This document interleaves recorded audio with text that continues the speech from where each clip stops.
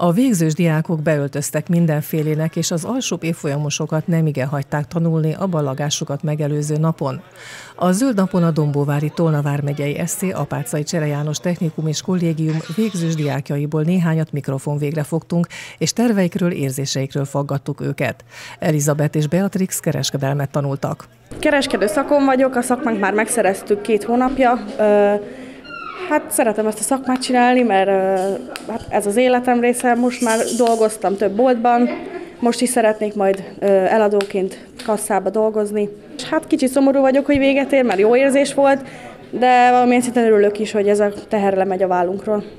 Pizsamásoknak öltöztünk be, már hideg is van, így rövid ruhát nem nagyon tudunk húzni, és az osztályból megyünk be, majd így néhány gyereket kihívni, feladatokat csináltatni velük és nagyjából igazából ennyi, amit mi tudunk ma csinálni. Ugye az érettségi után, hogyha meg lesz, már pedig nagy reménye talán meg lesz, szeretnék kívülre maradni még egy évet, amikor lesz végre egy szakmám, van már egy a fél éves vizsga után, de az legalább biztosabb, majd pedig egyetemre szeretnék menni.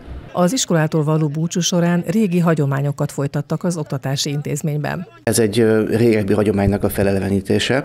Igazából ez a program sorozat, a végzősöknek a búcsúztatása, az a tegnapi nappal kezdődött el, amikor is tartottunk egy Szerenát Bulinak nevezett kis rendezvényt. Jelenleg 84 végzősünk van, és a diákok itt az iskolában, a padlástérben egy nagyon kedves műsort adtak a, a, az őket tanító tanároknak és az osztályfőnökeiknek, gyerekeknek, és utána egy ilyen, ilyen estig tartó kis buli volt ennek a vége. A mai nap lesz a, ennek a búcsúztatásnak a folytatása. Polgármester úr tart egy köszöntőt a végzőseinknek, majd ők végigvonulnak kocsikkal a városon, és lesz egy szinte egy régebbi hagyomány, egy faültetés, hogy nyomot hagyjanak ilyen módon is az iskolában a végzőseink. Minden évben a, a végzős évfolyam ültet egy fát itt az angol parkban, és utána természetesen ezt gondozzuk, és visszajönhet megnézni a gyerekek. Úgyhogy ez egy, ez egy ilyen hosszadalmas programsorozat, aminek a vége az a holnapi napon a ballagási ünnepség lesz, délután négy órakor fogjuk tartani itt az iskola udvarán. Ezen a vidám napon a továbbiakban az MMS Eszterházi Miklós Technikum végzős diákjainak vizsgára bocsátott ceremóniáján is részt vettünk.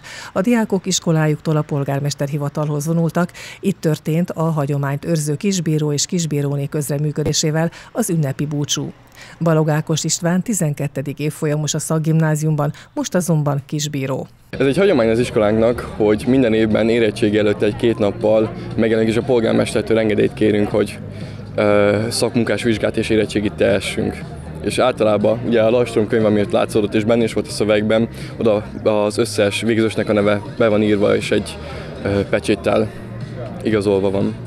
A polgármester Pintér Szilárd többek között azzal biztatta a diákokat, hogy ilyenkor nincs vége a dombóvári létnek.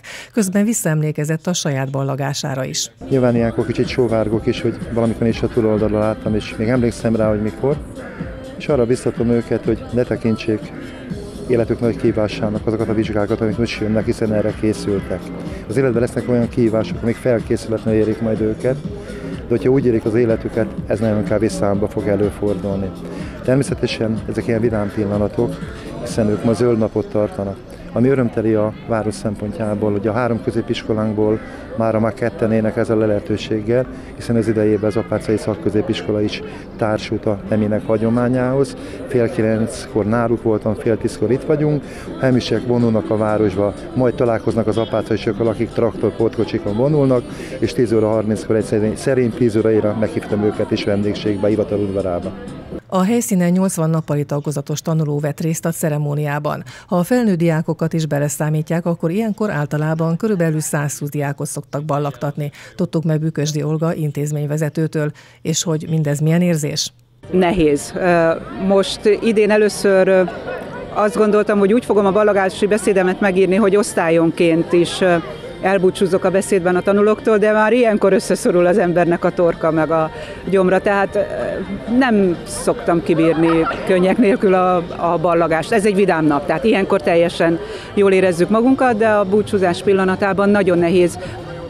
Az a az az álmunk, vagy az a gondolatunk ennek a tantestületnek, és nekem is, hogy az alatt a négy év alatt, amíg nálunk vannak, az alatt nem csak okos embereket, hanem szép embereket is nevelünk, és amikor ott állnak a ballagáson felöltözve, akkor egy pillanatra úgy ez látszik is, hogy igen, szép emberek lettek. A két oktatási intézmény diákjai pénteken ünnepélyes keretek között ballagtak el iskolájukból.